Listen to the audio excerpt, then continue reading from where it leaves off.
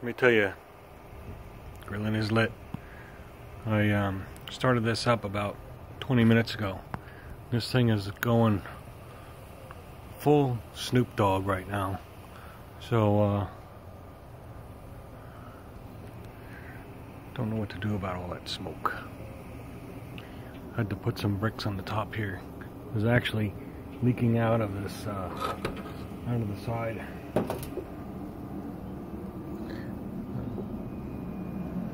Can't see it now, but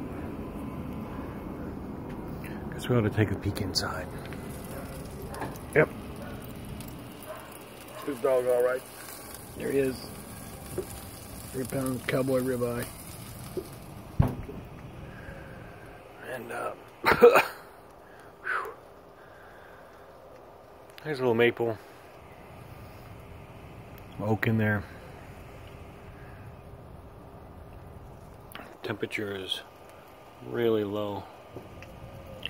So uh we'll keep it on the snoop mode.